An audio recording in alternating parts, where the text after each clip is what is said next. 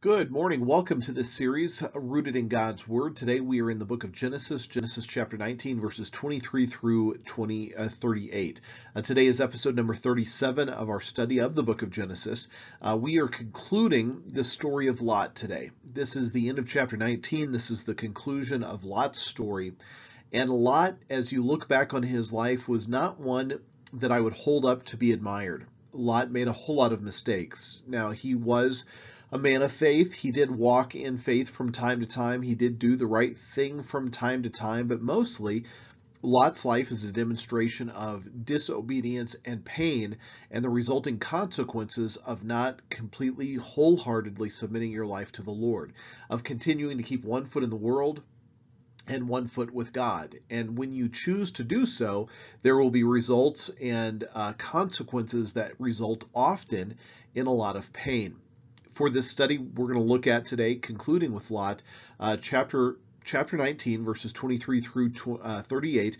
I did read last time verses 23 through 26, but I want to start again with those verses here today as we get into the final part of the story of Lot. Now, you remember last time God had poured out judgment upon Sodom and Gomorrah. Sodom and Gomorrah was a very wicked place. It was a very a very disobedient place, full of sin, uh, full of depravity. God poured out his judgment upon uh, the cities of Sodom and Gomorrah. He told Lot to escape. He tried to take his family members with him. His sons in laws would not go. And the result is that they were destroyed by fire, his, the, the son in laws. Uh, then, as they were leaving, God said, Don't look back and yet his wife is going to look back and she's going to be turned into a pillar of salt. So here you have uh, so far the pain of Lot's life. You, he's going to lose his wife to disobedience. He's going to lose his sons-in-laws to disobedience. Uh, and now we're going to see in the rest of the story today that his daughters are going to do something wicked. And that again is a picture of uh, disobedience that was going to happen in their hearts and in his heart, really, toward God. Well, let's start it today in verse 23, uh, and we'll read it again. We read it last time, but we're going to read it again today.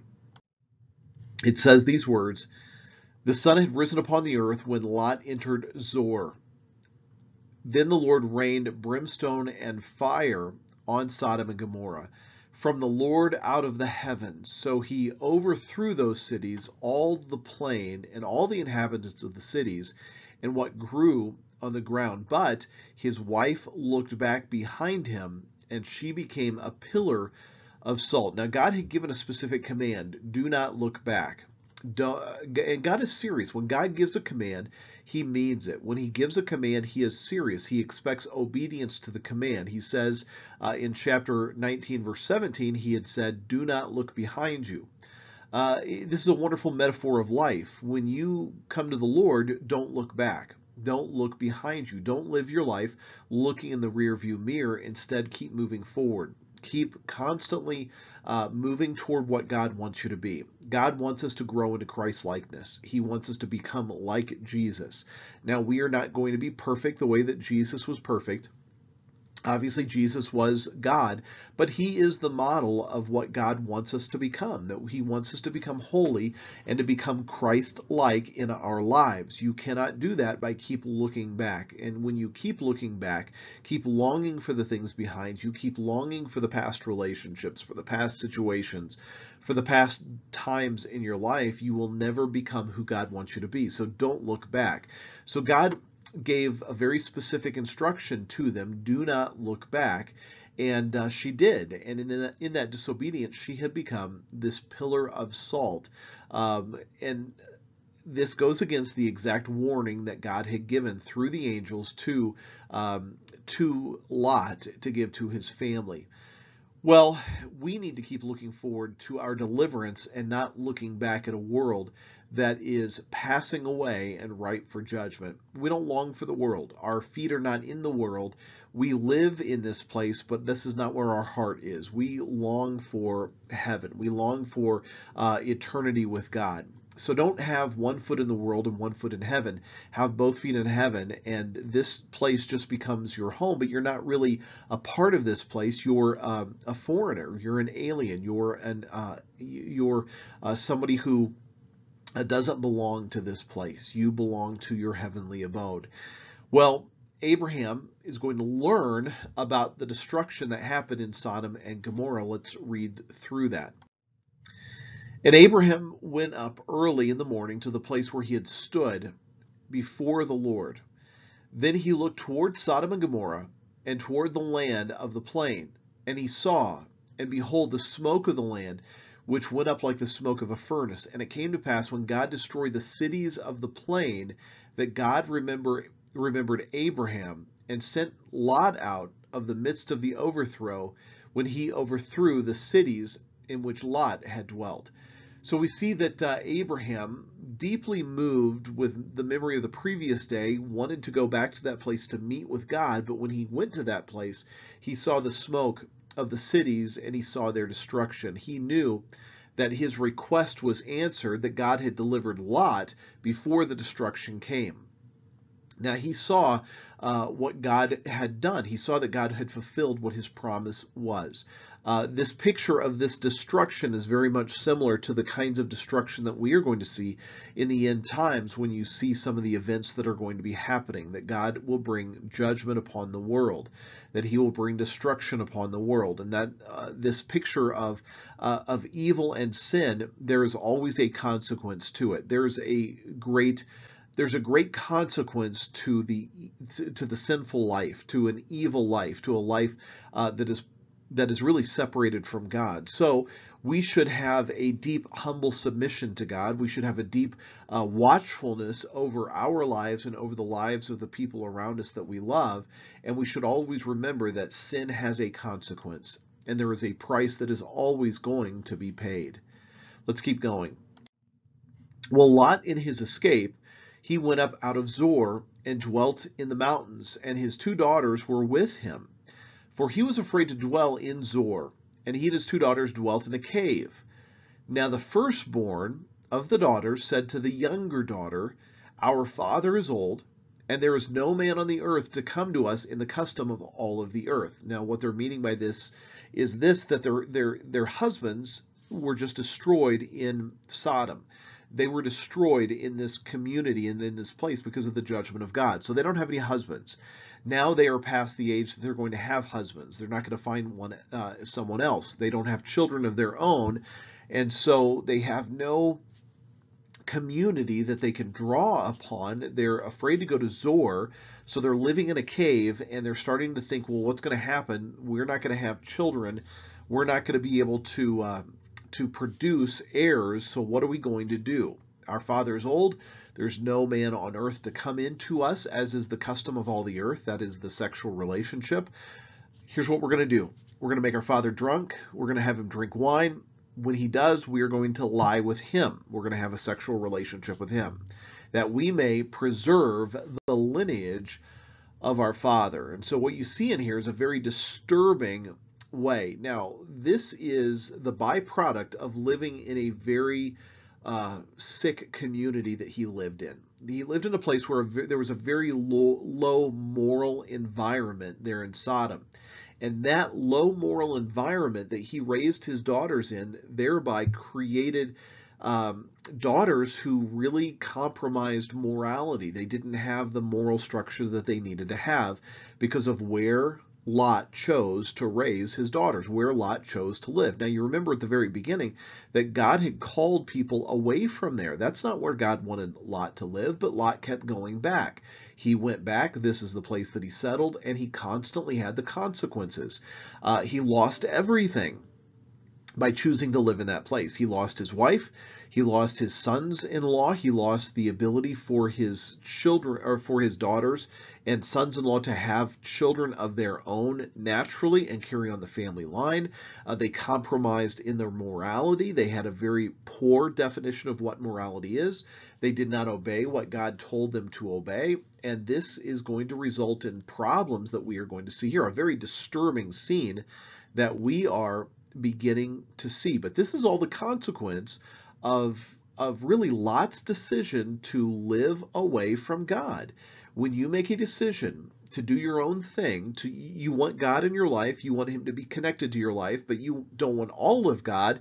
You just want a little sliver of God. You want a little sliver of morality, but you want to still do your own thing there are consequences that you will reap. There is always a consequence to disobedience in our lives. And I am not saying this to you preaching from a high loft at you. I'm saying this from knowing it firsthand in my own life. There are always consequences to the sinful decisions that we make, painful consequences that we all face. Lot's painful consequences were the loss of his his son-in-laws, uh, the loss of his wife, and the moral lowness of his daughters going to result in a very compromising and problematic uh, situation here that is going to give rise to the enemies of Israel. So this is not going to be a good thing. This is going to get give rise to a lot of the uh, Arab nations and a lot of the enemies of Israel today in the decisions that his daughters make because they have they were people of no morality. Well, let's look at what it, what happened here. Here's what it says. So they made their father drink wine that night and the firstborn went in and lay with her father. And he did not know when she lay down or when she arose. It happened on the next day that the firstborn said to the younger, Indeed, I lay with my father last night. Let us make him drink wine tonight also, and you go in, and you lie with him, that we may preserve the lineage of our father. So this was the plan. The plan was we're going to figure out our own way. Now, they could have trusted in the Lord they could have said, Lord, you provide for us husbands. You provide uh, a child to be born to us. Help us to be obedient to you. We're going to wait upon you. The same way that God was going to provide uh, a child to Abraham and Sarah, he could have just as easily provided one for the daughters of Lot if they would have trusted him and turned to him in their time of need. But they didn't they try to fix the problem themselves, and the problem that their solution to this is going to create a tremendous problem for the Israelites from this time forward. It goes on to say this.